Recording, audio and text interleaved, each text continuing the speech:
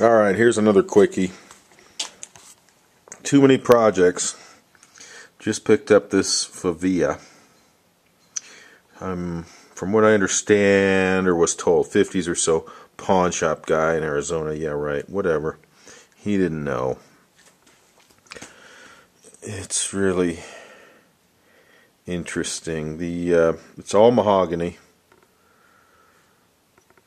pick guard I doubt is original, but well, that thing is on there. I don't know if I can change it.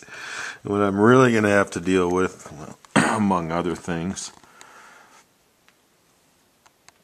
is the condition of this top, which is kind of hard to see, but it is really in there. So it's a ladder, course brace. It's really got one here, probably one back there. It's got the typical bridge plate all the way across, and then another thin little bridge plate kind of thing. Not as much a brace, just a thin, it's like a double bridge plate. I don't know, but uh, didn't do too well over the years.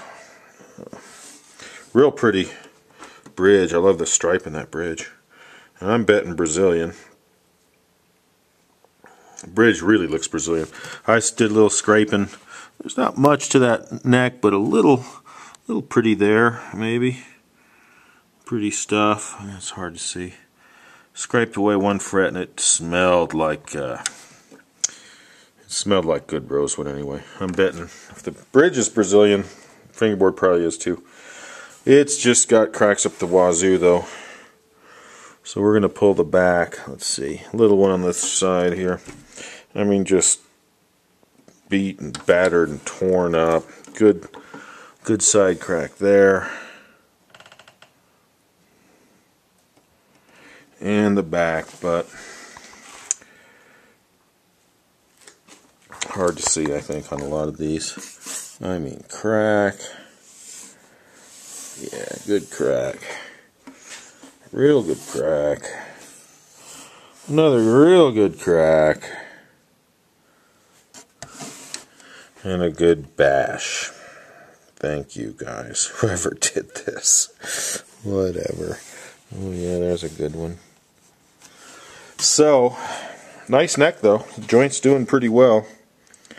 Looks good. It could. It's certainly on the verge of needing a neck reset anyway, but uh, we'll see how much I can get see how much I can get that top up. As is, it's actually the action's about right. But of course the top is dove down so far. So hopefully I get that top up a bit. It's just hard to see, but it's terrible. Yeah, there you go. You can see it. You can just see it. And a little crack in the fingerboard at the end. It's real hard to see.